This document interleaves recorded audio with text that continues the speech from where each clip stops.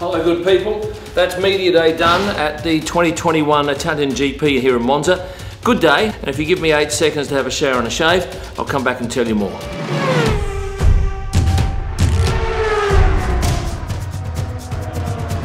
Shaved and showered, let's get started. If you weren't at the track today for Media Day for the Italian GP for 2021, allow me to tell you what transpired. Well, at least the stuff that I witnessed. I got there early to shoot driver arrivals, and the car park for the drivers is actually this dust bowl. And any car that goes in there, by the end of the day, is not the same colour. It's just covered in dust. The media car park is slightly further away, but the whole track is set in a park. So it's quite beautiful, the surrounds. And from the centre of Monza, I'm guessing it's a couple of Ks at most. Most of the drivers stay at this hotel here. It's common knowledge. And they would uh, take cars into the track.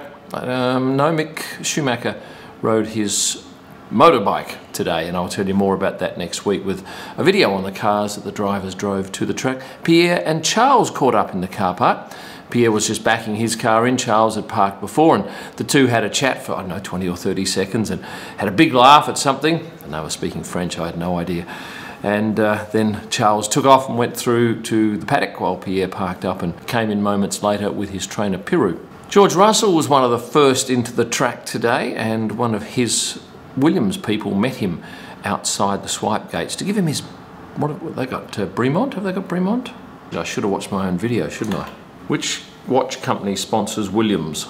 Oh, it is Bremont. And he put that watch on and then walked into the paddock. George, of course, was all the rage because of his move, or at least the announcement of his move to Mercedes next year. And he was quizzed uh, in the press conference later in the day on that, and no doubt uh, all the media would have asked him about that. And just to give you an idea, there is uh, press conferences running every 15 minutes up on the same level of the grand, well, it's not the grandstand, is it? It's the uh, building above the garages. So we can actually shoot the drivers coming up the stairs and going into these press conferences. And they run at 15 minute intervals with two drivers each. Uh, the second last pairing was Carlos Sainz and George Russell. And it was pretty obvious that Carlos had had a haircut during the week. This is last week and this week, before and after. On a personal note, I was quite excited today because for the first time since 2020 in Melbourne, I was allowed to walk through the paddock.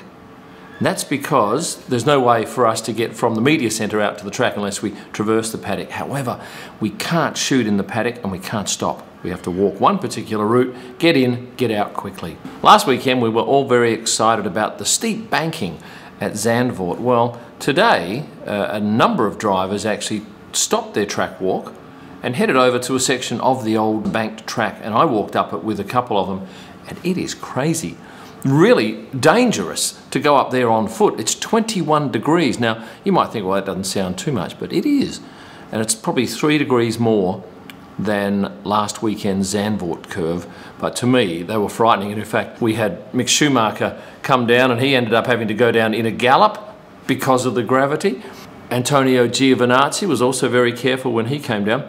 Ruth Buscombe, who's the strategist for Alfa Romeo, she was very nervous about it and she felt that the safest way down was adopting this particular strategy, which worked.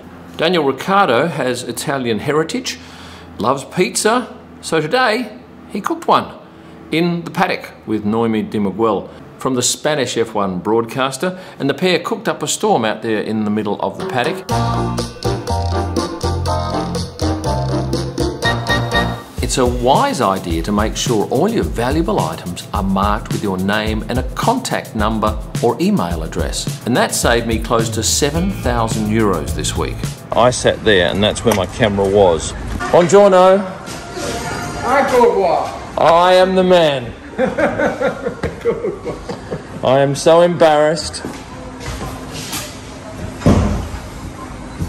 Grazie, grazie, grazie. Yes, I left it on the seat in that cafe, but luckily the guys at Cafe Milani rang the phone number on the camera and I was reunited with it. Netflix are on a winner this weekend because they have a crew embedded with Ferrari with their home race and huge crowd support. Although I must say there's only 25,000 spectators allowed into the track, which would be, I'm guessing, a third, would it? Maybe even a quarter of what you would normally get in. And I doubt very much, in fact, I I put my house on it, that they will not be allowed to invade the track afterwards and put up their big flags, which is a shame because that's something really beautiful about this track post race when they celebrate like that. James Bond is back to celebrate the new movie.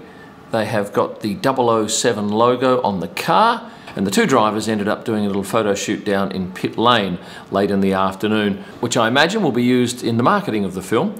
The good part about that is that they had their masks off, and we don't often get a chance to shoot the drivers with their masks off. Sergio Perez and Lance Stroll shared one of the press conferences today. Being former teammates, I was delighted to see when they finished and they walked out into the corridor that they were very pally and even stopped for a posed photo with the Aston Martin photographer. As part of the COVID rules too, there is a set of steps for going up and a set of steps for going down. And here you can see that Charlotte Sefton, the press manager for McLaren, had to direct Lando down the right set of stairs. And by the way, have you had a look at the session times for this weekend? Because we have the sprint race, FP1, which normally starts at 11.30, now starts at 2.30 p.m. Qualification is 6 p.m. tomorrow night, my time. If you're watching this after the event, well, you know what happened. Then we have P2 at noon on Saturday, the sprint race at 4.30 p.m. and the main race on Sunday goes back to 3 p.m. We all got given a gift in the media centre and it is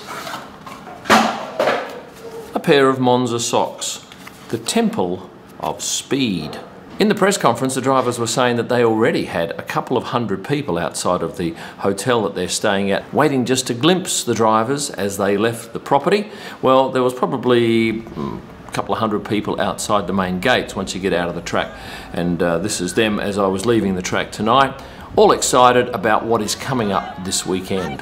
And what of Lewis Hamilton? Well, Unfortunately for me, I didn't see much of Lewis because I had to go and shoot the track walk at the start of the day, and Lewis came in quite late and in an amazing outfit with a big puffy jacket. And here's the picture he posted on his social media. I can tell you, you didn't need a puffy jacket today. It was it wasn't stinking hot, but it was 29 degrees by the time he came in. Lando Norris was also wearing a hoodie today on a warm morning, and I believe this is from Marcelo Burlon. Now, I'd never heard of the brand, so thank you to my Instagram followers who identified that. And this noise in the background is because I'm shooting uh, in a suburb here of Monza with the window open, so you're hearing typical Italian neighbourhood sounds. Did you realise that those Emirates signs that they paint on the ground at the various corners are all done by hand? And the only real instrument that the sign writers use is these three or four pieces of wood that they strap together to make a very long ruler, for want of a better word. But otherwise, it's all just down to skill of the artist painting on the ground. If you're a Haas fan, you might know this fellow, Stuart Morrison. Now, he's the press officer for Haas. And when he came in this morning, he was directing my attention to one of his colleagues who was a prime candidate for Women of the Paddock. I'm not sure what her role is, but she's certainly a popular crew member. So I will endeavour to get a good quality photo of her for Women of the Paddock coming up Monday on my Instagram page. Hey, it's nearly the end. So please hit the like button if you've enjoyed the video. It's come to you at no charge. Subscribe if you haven't done so. That way you get uh, the opportunity to see all of my videos, get notified by clicking the notification button and become a member if you want some good extras. You'll find all of my digital images available at prostarpics.com for editorial and personal use. If you'd like a photo book, one of my F1 photo books, go online to kymillman.com and order one there. We send them to almost any country in the world. You'll also find some merchandise there. And for my best pictures live from the track and all during the week, I urge you to go to Instagram and search at Kym Illman. Thanks for watching and stay passionate.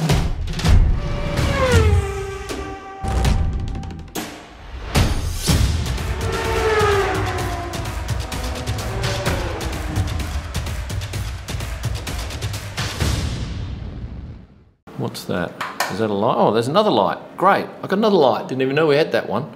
Balances things up a little bit.